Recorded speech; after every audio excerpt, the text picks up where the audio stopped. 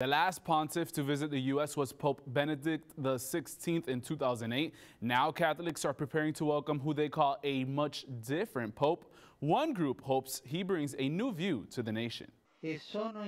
Churches all over the nation uniting Sunday night to pray for the Pope's safe arrival to the United States. For all the many issues that we have in our country, uh, to reach out to the poor, to reach out to those that are in need of Christ. In the Valley, the Call to Action organization holding a special service, Catholics Uniting at St. John the Baptist Catholic Church. It is a privilege to have him come. Pope Francis is expected to land in Washington, D.C. on Tuesday before visiting New York and Philadelphia. This is a blessing from God. Even though he'll be up north, he is blessing the whole country. Some Catholics say this Pope is visiting in a time of crisis for the church. Call to Action says one third of all adults raised Catholic have left the church. Because there's a number of groups that feel kind of edged out or left out.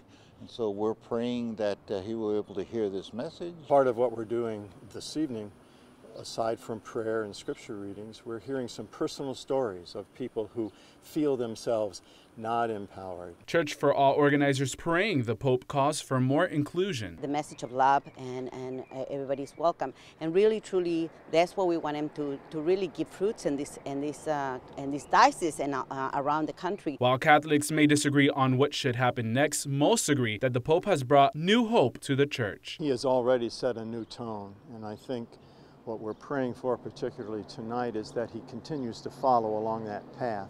Pope Francis is the first pope ever from the Americas born in Argentina, and this will be his first trip to the United States. In the studio, Nestor Mato, Action 4 News.